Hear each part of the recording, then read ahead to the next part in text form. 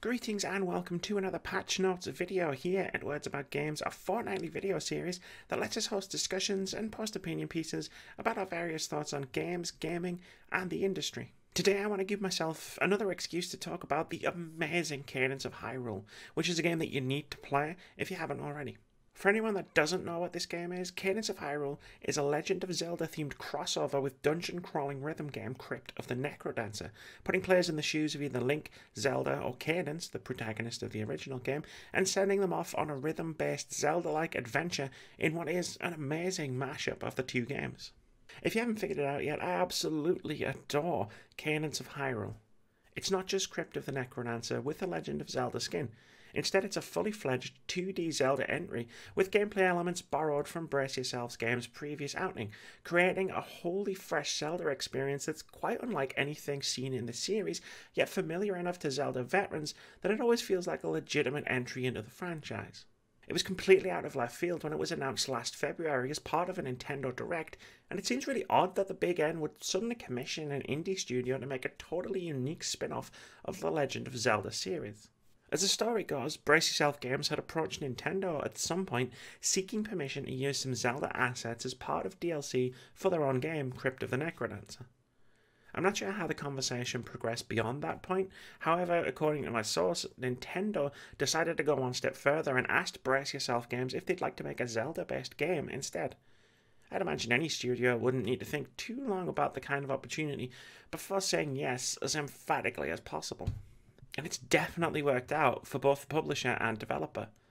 Cadence of Hyrule is a critical hit, sitting at a very healthy 86 on Metacritic, with critics generally hailing it as a brilliant addition to the Zelda franchise.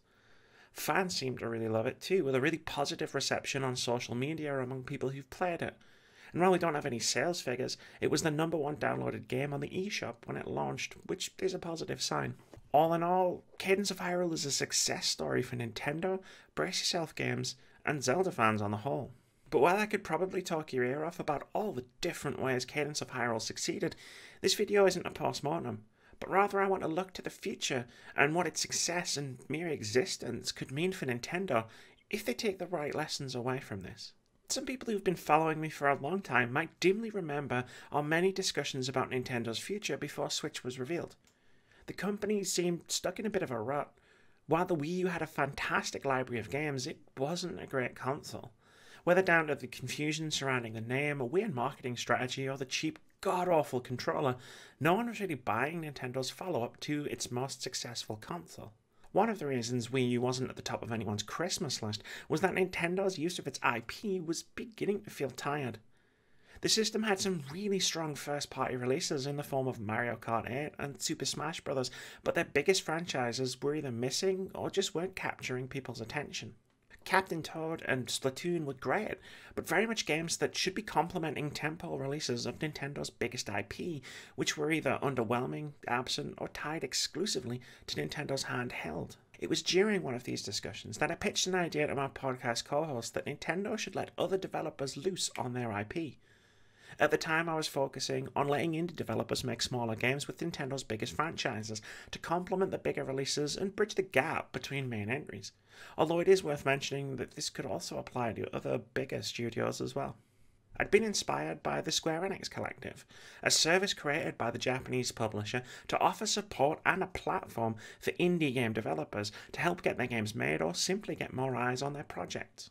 As part of the initiative, Square had announced that they were accepting pitches from indie developers to create games using the old Eidos IPs that they owned but weren't doing anything with, specifically Fear Effect, Gex, and Anachronox. Square stipulated that they weren't looking for sequels to these games but were actively encouraging new twists on them. The example they used was turning Gex into a side scrolling platformer or a turn based strategy, which I mean, why hasn't anyone done this yet? Because Nintendo are at the forefront of our discussions, my mind rests with the possibility of them opening their back catalogue of IP to the wonderfully creative indie dev community and what wonders they could potentially create. It would be a fresh shot in the arm for their franchises and the company themselves. It was exciting to think about, although I never really expected it to go anywhere. Fast forward to June 2019, and we have an answer Cadence of Hyrule. Although Nintendo never announced an initiative like the Square Enix Collective, this is exactly what it could look like if they did put something like that into practice. If there's one thing I hope Nintendo take away from Cadence of Hyrule's success, it's that their IP can be used in some truly brilliant ways that they themselves would never think of.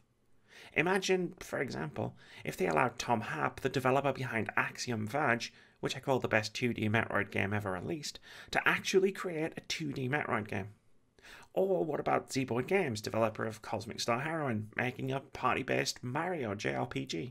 Imagine a turn based Legend of Zelda strategy game, or a narrative based Animal Crossing in the style of Telltale Games, or a Souls like Fire Emblem spin off. Imagine Nintendo commissioning Platinum Games to make a Vanquish style third person shooter starring Samus Aran set in the Metroid universe. Oh, damn it, I've made myself really mad because that's probably never going to happen, but sounds amazing. These are all just examples that I've cooked up in the last 20 minutes, except the Tom Happ one. I pitched that as part of my original thoughts on the topic years ago.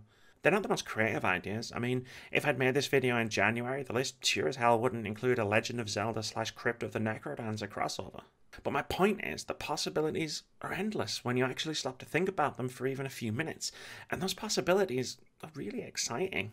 Nintendo have now had two solid hits out of letting external developers create new spin offs from their IP in Cadence of Hyrule and Mario plus Rabbids. Hopefully, this is a signal that Nintendo are looking to partner up with more external developers to create even more wonderfully creative new spins on the universes and characters we all love. Oh, and on the remote chance someone at Nintendo stumbles across this video somehow, you can have all those ideas I pitched for free. I won't be mad if it means I get to play them. Thank you very much for watching this video. If you've enjoyed it, please leave us a comment, like, or subscribe to the channel if you haven't already. We've got tons of awesome videos coming every week, including review impressions, indie game of the week, debate driven top 5 lists, video essays, and our weekly podcast where we discuss games, gaming culture, and the games industry. We also stream three times a week at twitch.tv slash words about games. But most importantly, have a fantastic day.